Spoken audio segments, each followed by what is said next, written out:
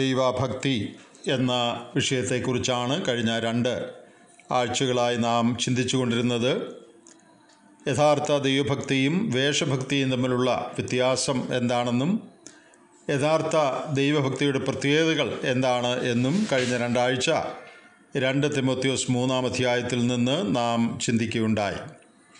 ഈ ദൈവഭക്തി നാം എല്ലാവരും ഏറ്റവും കാക്ഷിക്കേണ്ടതായ ഒരു കാര്യമാണെന്നും അത് ഈ ലോകത്തിലും വരുവാനുള്ളതിലും വളരെ നന്മകൾ നമുക്ക് നൽകുന്നതാണെന്നും ദൈവത്തിന്റെ വചനം പറയുന്നുണ്ട്. അതിന്റെ പ്രയോജനങ്ങൾ അതിന്റെ ഗുണങ്ങൾ എന്തൊക്കെയാണ് എന്ന് തിരുവിടത്തിൽ പറഞ്ഞിരിക്കുന്ന ചില ഭാഗങ്ങൾ ഇന്ന് നമുക്ക് പരിശോധിക്കാം. ഒന്ന് തിമോത്യോസ് നാലാം അധ്യായത്തിന്റെ എട്ടാമത്തെ വാക്യത്തിൽ ഈ ലോകത്തിലും വരുവാനുള്ളതിലും വളരെ പ്രയോജനകരമാണ് ദൈവഭക്തി എന്ന് പറഞ്ഞിട്ടുണ്ട്. അതേ പുസ്തകം ആറാം അധ്യായം ആറാം വാക്യത്തിൽ അത് വലുതായ ആദായമാണ് എന്ന് പറഞ്ഞിട്ടുണ്ട്. നമുക്ക് വലുതായ ആദായം നൽകുന്ന ഈ ലോകത്തിലും വരുവാനുള്ളതിലും പ്രയോജനകരമായ ഒരു കാര്യത്തെ നാം ഒരിക്കലും ഉപേക്ഷയായി വിചാരിക്കാൻ പാടില്ല. അതിനെ നാം പിൻപറ്റേണ്ടതാണ് എന്നുള്ളതിന് സംശയമില്ല. തിരുവഴുത്തിന്റെ മറ്റനേക ഭാഗങ്ങളിൽ ഈ കാര്യം പറഞ്ഞിട്ടുണ്ട്. സദൃശവാക്യങ്ങളിലേക്ക് നാം തിരിഞ്ഞാൽ ജ്ഞാനിയായ ശലോമോൻ യഹോവ ഭക്തി ജ്ഞാനത്തിന്റെ ആരംഭമാകുന്നുവെന്ന് തന്റെ ഒന്നാമത്തെ അധ്യായത്തിൽ തന്നെ സദൃശവാക്യത്തിന്റെ പ്രാരംഭത്തിൽ തന്നെ പറഞ്ഞിട്ടുണ്ട്. അതുകൂടാതെ ആ പുസ്തകം നാം തുടർന്ന് വായിക്കുമ്പോൾ അനേക വട്ടം ദൈവഭക്തിയുടെ മഹത്വത്തെക്കുറിച്ചും അതിന്റെ പ്രയോജനത്തെക്കുറിച്ചും ഞാൻ ആ ശലോമോൻ പറയുന്നത് നമുക്ക് കാണാനായിട്ട് സാധിക്കും. സദൃശിവാക്യം ഇരുപത്തി മൂന്നിന്റെ പതിനേഴും പതിനെട്ടും വാക്യങ്ങൾ നമുക്ക് ഒന്ന് വായിച്ചു നോക്കാം. ശ്രദ്ധിക്കുക. നിന്റെ ഹൃദയം പാപികളോട് അസൂയപ്പെടരുത്. നീ എല്ലായ്പ്പോഴും യഹോവാഭക്തിയോടിരിക്ക. ഒരു പ്രതിഫലം ഉണ്ടാകും നിശ്ചയം. നിന്റെ പ്രത്യാശയ്ക്ക് ഭംഗം വരികയുമില്ല. എല്ലായ്പ്പോഴും യഹോവാഭക്തിയോടിരിക്കുന്ന ഒരാൾക്ക് നിശ്ചയമായും പ്രതിഫലമുണ്ടാകും. അവന്റെ പ്രത്യാശയ്ക്ക് ഒരിക്കലും ഭംഗം വരികയില്ല എന്നുള്ള ഉറപ്പ് ദൈവത്തിന്റെ വചനത്തിൽ നൽകിയിരിക്കുകയാണ്. നീ എല്ലായ്പ്പോഴും യഹോഭക്തിയോടിരിക്ക ഒരു പ്രതിഫലമുണ്ടാകും നിശ്ചയം. യഹോവാഭക്തിയോടെ ജീവിപ്പാൻ ആഗ്രഹിക്കുന്നവർക്കെല്ലാം ഉപദ്രവമുണ്ടാകും എന്ന് രണ്ട് തിമോത്യോസ് മൂന്നിൽ നാം ധ്യാനിച്ചപ്പോൾ നോക്കുകയുണ്ടായി. ഭക്തി ജീവിതം പലതരത്തിലുള്ള വൈഷമ്യങ്ങൾ ഈ ലോകത്തിൽ നിന്ന് വിളിച്ചു വരുത്തുന്നതാണ്. അത് ഉപദ്രവങ്ങൾ നൽകുന്നതാണ്. താൽക്കാലികമായ ചില വിഷമങ്ങൾ ചില പ്രയാസങ്ങളൊക്കെ ഭക്തിയായി ജീവിക്കുന്നവർക്കുണ്ടാകും എന്നുള്ളത് പ്രതീക്ഷിക്കേണ്ടതാണ്. എന്നാൽ അത് കാര്യങ്ങളുടെ ഒരു വശം മാത്രമാണ്. അതിന്റെ മറുവശം അങ്ങനെ ഉപദ്രവങ്ങൾ കൊണ്ട് നാം നിരാശപ്പെട്ട് ക്ഷീണിച്ചു പോകേണ്ട ആവശ്യമില്ല. യഹോവാഭക്തിയോട് ഇരുന്നാൽ തീർച്ചയായിട്ടും ദൈവം അതിന് പ്രതിഫലം തരും. നമ്മുടെ സകല വൈഷമ്യങ്ങളും നിസ്സാരമെന്ന് തോന്നത്തക്കവണ്ണം ദൈവഭക്തി പ്രതിഫലം കൊണ്ടുവരുന്നതാണ് എന്ന് തിരുവഴുത്ത് വളരെ വ്യക്തമായിട്ട് പറയുന്നുണ്ട്.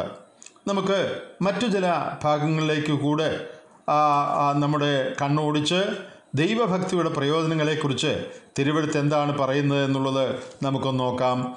നൂറ്റി പതിനൊന്നാം സങ്കീർത്തനത്തിന്റെ പതിനൊന്നാമത്തെ വാക്യത്തിൽ യഹോവ ഭക്തി ജ്ഞാനത്തിന്റെ ആരംഭമാകുന്നു. അവയെ ആദരിക്കുന്ന എല്ലാവർക്കും നല്ല ബുദ്ധിയുണ്ട് എന്ന് പറഞ്ഞിരിക്കുന്നു. യഹോവ ഭക്തി ജ്ഞാനത്തിന്റെ ആരംഭമാണെന്ന് സദൃശവാക്യം ഒന്നിൽ പറഞ്ഞ കാര്യം നാം നേരത്തെ ഓർത്തല്ലോ. ഇവിടെ സങ്കീർത്തനത്തിലും അത് തന്നെ പറഞ്ഞിരിക്കുകയാണ് യഹോവ ഭക്തിയാണ് ജ്ഞാനത്തിന്റെ ആരംഭം.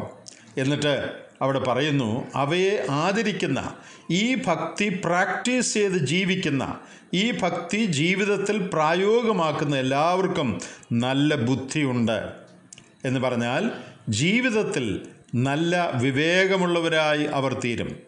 ദൈവഭക്തിയാൽ നിയന്ത്രിക്കപ്പെടുന്ന ആളുകൾ ദൈവഭക്തിയുടെ പ്രമാണങ്ങൾ ജീവിതത്തിൽ പാലിച്ചുകൊണ്ട് നടക്കുന്ന ആളുകൾക്ക് ദൈവം നല്ല ആലോചനകൾ പറഞ്ഞു കൊടുക്കുകയും അവരെ വഴി നടത്തുകയും ജീവിതത്തിൽ ശരിയായ തീരുമാനങ്ങൾ ചെയ്യാനുള്ളതായ ബുദ്ധി അവർക്ക് നൽകുകയും ചെയ്യും.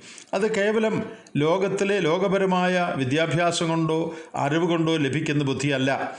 ആ അറിവും പഠിപ്പും ഒക്കെ ആവശ്യമാണെന്നുള്ളത് ശരിയാണെങ്കിലും ജീവിതത്തെ ശരിയായി മുന്നോട്ട് നയിച്ചു കൊണ്ടുപോകുവാൻ ശരിയായ സന്ദർഭങ്ങളിൽ ശരിയായ തീരുമാനങ്ങൾ ചെയ്യുവാൻ ശരിയായ മാർഗത്തിൽ കൂടെ ജീവിതത്തെ മുന്നോട്ട് കൊണ്ടുപോകുവാൻ ദൈവീകമായ ജ്ഞാനം വളരെ വലിയ ഒരു ആവശ്യമാണ്. മുപ്പത്തി ഒന്നാം സങ്കീർത്തനത്തിന്റെ പത്തൊൻപതാമത്തെ വാക്യത്തിൽ ദൈവഭക്തിയുള്ള ആളുകൾക്ക് വേണ്ടി ദൈവം സംഗ്രഹിച്ച് വെച്ചിരിക്കുന്ന അനുഗ്രഹങ്ങളെക്കുറിച്ച് ഒരു വാഗ്ദത്തമുണ്ട്. മുപ്പത്തി ഒന്നിന്റെ പത്തൊൻപതാമത്തെ വാക്യം നിന്റെ ഭക്തന്മാർക്ക് വേണ്ടി നീ സംഗ്രഹിച്ചതും നിന്നിൽ ആശ്രയിക്കുന്നവർക്ക് വേണ്ടി മനുഷ്യപുത്രന്മാർ കാണുക നീ പ്രവർത്തിച്ചതുമായ നിന്റെ നന്മ എത്ര വലിയതാകുന്നു. ദൈവത്തെ ഭയപ്പെടുന്ന ആളുകൾ അവരാണ് ദൈവത്തിൽ ആശ്രയിക്കുന്നവർ. നിന്റെ ഭക്തന്മാർ നിന്നിൽ ആശ്രയിക്കുന്നവർ. അവർക്ക് വേണ്ടി വലിയ നന്മകൾ ദൈവം സംഗ്രഹിച്ചു വച്ചിട്ടുണ്ട്. അവർക്ക് മറ്റുള്ളവർ കാണുക. നിന്നിൽ ആശ്രയിക്കുന്നവർക്ക് വേണ്ടി മനുഷ്യപുത്രന്മാർ കാണുക. നീ പ്രവർത്തിച്ചതുമായ നിന്റെ നന്മ എത്ര വലിയതാകുന്നു. ദൈവഭക്തന്മാരും ദൈവത്തിൽ ആശ്രയിക്കുന്നവരുമായ ആളുകൾക്ക് വേണ്ടി മറ്റുള്ളവർ കാണുക. അത്ഭുതകരമായ നന്മകൾ ദൈവം പ്രവർത്തിക്കും എന്നുള്ള ഒരു നിശ്ചയമായ വാഗ്ദത്തം ഈ ഭാഗത്ത് നാം കാണുകയാണ്. അത് മാത്രമല്ല സദൃശവാക്യത്തിലേക്ക് നാം മടങ്ങിപ്പോകുമ്പോൾ അതിന്റെ പതിനാലാം അധ്യായം ഇരുപത്തി ആറാമത്തെ വാക്യം നമുക്ക് വളരെ ധൈര്യം തരുന്ന ഒരു വാക്യമാണ്. നേരത്തെ സദൃശവാക്യത്തിൽ തന്നെ നാം ഇരുപത്തി മൂന്നിൽ വായിച്ച അതുപോലെ തന്നെയുള്ള ഒരു ആശയം. അതിന്റെ പതിനാലാം അധ്യായത്തിന്റെ ഇരുപത്തി ആറാമത്തെ വാക്യത്തിലും നമുക്ക് ലഭിക്കുന്നുണ്ട്.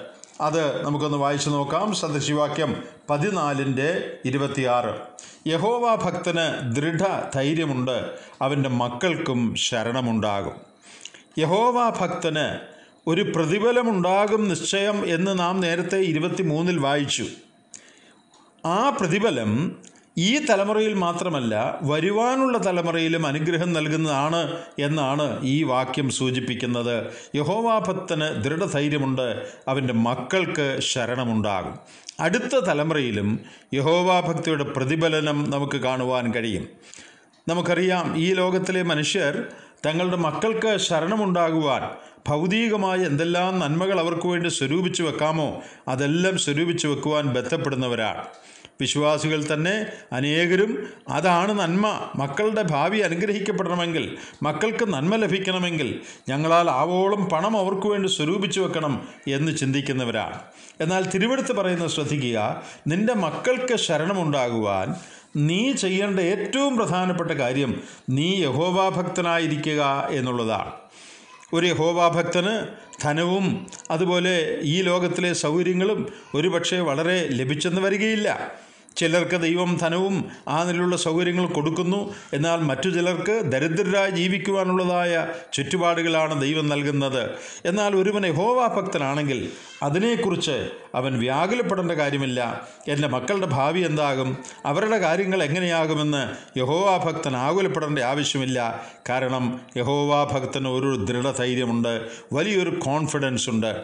ഈ ബന്ധത്തിൽ ദാവീദ് മുപ്പത്തിയേഴാം സങ്കീർത്തനത്തിൽ പറഞ്ഞ ഒരു വാചകം നമ്മുടെ ഓർമ്മയിൽ വരുന്നുണ്ടല്ലോ. ഞാൻ ബാലനായിരുന്നു വൃദ്ധനായി തീർന്നു. നീതിമാൻ തുണയില്ലാതിരിക്കുന്നതും അവന്റെ സന്തതി ആഹാരമിരക്കുന്നതും ഞാൻ കണ്ടിട്ടില്ല. ദാവീദും അതുതന്നെയാണ് പറയുന്നത്. നീതിമാനായി ജീവിച്ചാൽ യഹോവാഭക്തനായി ജീവിച്ചാൽ അവന്റെ മക്കൾക്ക് തീർച്ചയായിട്ടും ശരണം ഉണ്ടാകും. സദൃശവാക്യം തന്നെ പതിനഞ്ചിന്റെ പതിനാറാമത്തെ വാക്യത്തിൽ ബഹുനിക്ഷേപവും അതിനോടുകൂടെ കഷ്ടതയും ഉള്ളതിനേക്കാൾ യഹോവാഭക്തിയോടുകൂടെ അല്പധനമുള്ളത് നന്ന് എന്ന് പറഞ്ഞിട്ടുണ്ട്.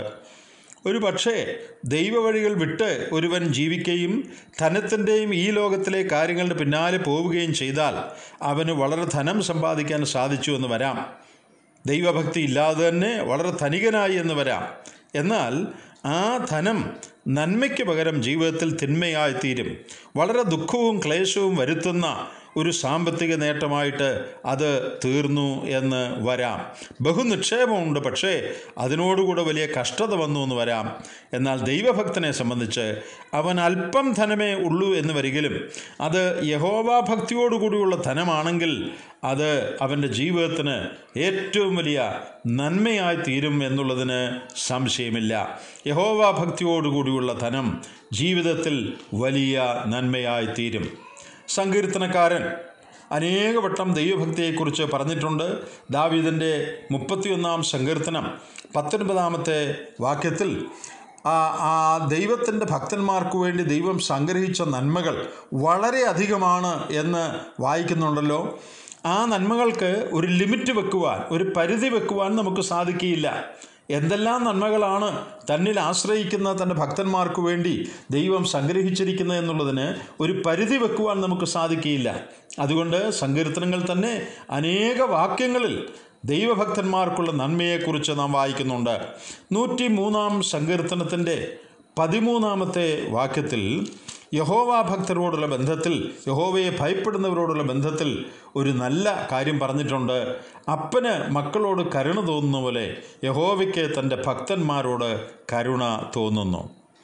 യഹോവയ്ക്ക് തന്റെ ഭക്തന്മാരോട് തന്നെ ഭയപ്പെടുന്നവരോട് യഹോവയ്ക്ക് കരുണ തോന്നുന്നു. എത്രയോ നല്ല ഒരു കാര്യമാണ്. ദൈവത്തെ ഭയപ്പെടുന്നവർ ദൈവത്തിന്റെ കരുണ പ്രാപിക്കുന്നവരായി ഇരിക്കും. നൂറ്റി നാൽപ്പത്തി അഞ്ചാം സങ്കീർത്തനത്തിന്റെ പത്തൊൻപതാമത്തെ വാക്യത്തിൽ ദൈവഭക്തരെക്കുറിച്ച് പറഞ്ഞിരിക്കുന്ന മറ്റൊരു കാര്യം. അവൻ തന്റെ തന്റെ ഭക്തന്മാരുടെ ആഗ്രഹം അവൻ സാധിപ്പിക്കും.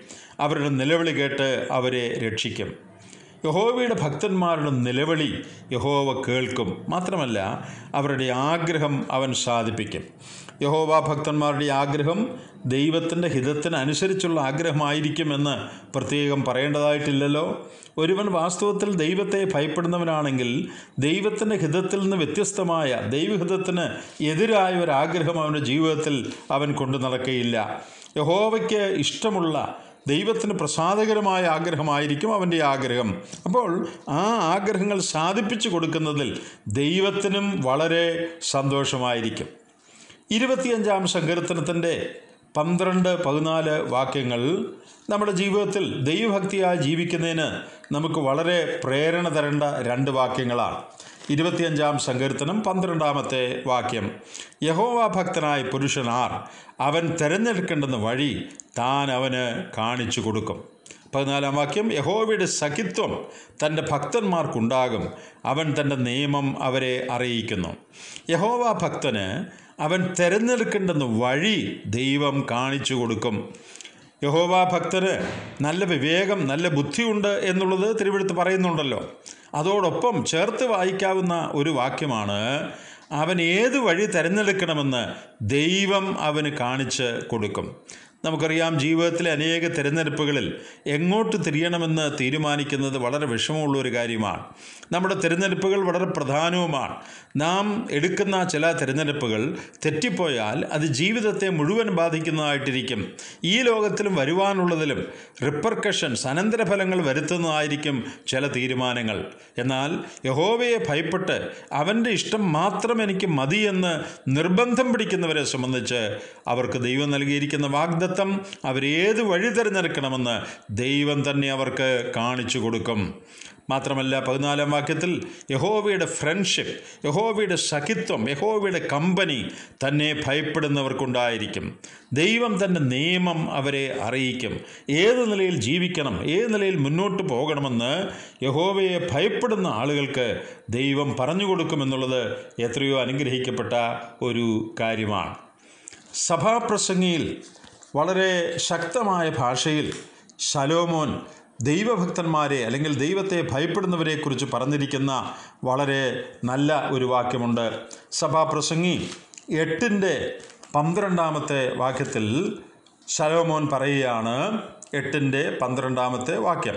പാപി നൂറ് പ്രാവശ്യം ദോഷം ചെയ്യുകയും ദീർഘായുസോടെ ഇരിക്കുകയും ചെയ്യുന്നുണ്ടെങ്കിലും ദൈവത്തെ ഭയപ്പെടുന്ന ഭക്തന്മാർക്ക് നന്മ വരുമെന്ന് ഞാൻ നിശ്ചയമായി അറിയുന്നു. ശ്രദ്ധിക്കുക ദൈവത്തെ ഭയപ്പെടുന്ന ഭക്തന്മാർക്ക് നന്മ വരുമെന്ന് ഞാൻ നിശ്ചയമായി അറിയുന്നു. നാം സദൃശവാക്യത്തിലും അത് വായിച്ചു. നന്മ വരും അവർക്ക് പ്രതിഫലം ലഭിക്കും. ശലോമോൻ ഈ ലോകത്തിലെ അനേക കാര്യങ്ങളെക്കുറിച്ച് പഠിച്ച് ഒബ്സർവ് ചെയ്ത് നിരീക്ഷിച്ച് തന്റെ നിരീക്ഷണങ്ങൾ എഴുതിയിരിക്കുകയാണല്ലോ സഭാപ്രസംഗിയിൽ. അതിൽ ഏറ്റവും വലിയ ഒരു നിരീക്ഷണമാണ് ദൈവത്തെ ഭയപ്പെടുന്നവർക്ക് നന്മ വരും. അത് ഞാൻ നിശ്ചയമായി അറിയുന്ന കാര്യമാണ്. മലാഖിയുടെ പ്രവചനം മൂന്നാം അധ്യായം ഇതിനു മുൻപ് ഒരവസരത്തിൽ നാം ചിന്തിച്ചപ്പോൾ ദൈവ ഭക്തന്മാരെ യഹോവ ഭക്തന്മാരെ ദൈവം മാനിക്കും എന്നുള്ള കാര്യം നാം ശ്രദ്ധിക്കുകയുണ്ടായി. ദൈവഭക്തന്മാർ യഹോവാഭക്തന്മാർ തമ്മിൽ തമ്മിൽ സംസാരിച്ചു. അവർക്ക് വേണ്ടി ഒരു സ്മരണ പുസ്തകം എഴുതി വച്ചിരിക്കുന്നു. തുടങ്ങിയ കാര്യങ്ങൾ പറഞ്ഞിട്ട് അതിന്റെ ഒടുവിൽ പറയുന്നത് ഒരു അപ്പൻ മകനെ ആദരിക്കുന്നത് പോലെ ദൈവം അങ്ങനെയുള്ളവരെ ആദരിക്കും. യഹോവാ ഭക്തന്മാർ ആദരിക്കപ്പെടുന്നവരായിരിക്കും. ദൈവം അവരെ ആദരിക്കും. അങ്ങനെ തിരുവഴുത്തിന്റെ അനേക ഭാഗങ്ങളിൽ യഥാർത്ഥ ദൈവഭക്തി ജീവിതത്തിൽ പിടിച്ചുകൊള്ളുകയും പിൻപറ്റുകയും ചെയ്യുന്ന ആളുകൾക്ക് ഈ ലോകത്തിൽ ജീവിക്കാൻ ആവശ്യമുള്ള വിവേകവും പരിജ്ഞാനവും ദൈവം നൽകും സന്തോഷവും സമാധാനവും നൽകും അവരോട് ദൈവം കരുണ കാണിക്കും അവർ തിരഞ്ഞെടുക്കേണ്ടുന്ന വഴി ദൈവം അവർക്ക് കാണിച്ചു കൊടുക്കും. മാത്രമല്ല അവർക്ക് തീർച്ചയായും നന്മ വരും.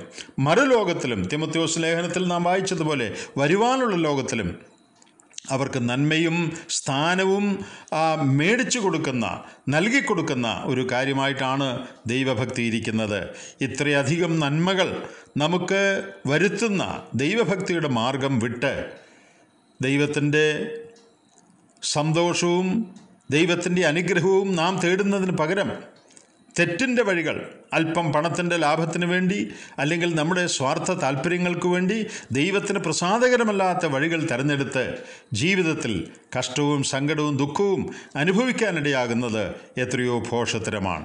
ഇത്രയധികം നന്മകൾ ദൈവഭക്തി കൊണ്ട് ദൈവം വാഗ്ദത്തം ചെയ്തിരിക്കെ അതിനെ ഉപേക്ഷയായി വിചാരിച്ച് നശിച്ചു പോകുന്ന കാര്യങ്ങളുടെ പിന്നാലെ ദൈവഭക്തി വിട്ടുള്ള മാർഗങ്ങൾ പോയി ജീവിതം ദുരിതപൂർണമാക്കുന്നത് എത്രയോ ദുഃഖകരമായ കാര്യമാണ്. നമുക്ക് ആർക്കും അങ്ങനെ സംഭവിക്കാതിരിക്കട്ടെ. ഏറ്റവും അധികം നന്മ അനുഗ്രഹം നമുക്ക് പ്രദാനം ചെയ്യുന്ന ഈ ലോകത്തിലും വരുവാനുള്ള ലോകത്തിലും നമുക്ക് ഗുണം ചെയ്യുന്ന യഹോവ ഭക്തി നമുക്ക് പിന്തുടരാം. ദൈവത്തെ ഭയപ്പെട്ട് അവന്റെ വഴികളിൽ നടക്കുന്ന ഏവരും ഭാഗ്യവാനെന്ന് തിരുവഴുത്തിൽ പറയുന്ന ആ ഭാഗ്യം നമ്മുടേതായി തീരട്ടെ. കർത്താവതിനായി നമ്മെ സഹായിക്കുമാറാകട്ടെ.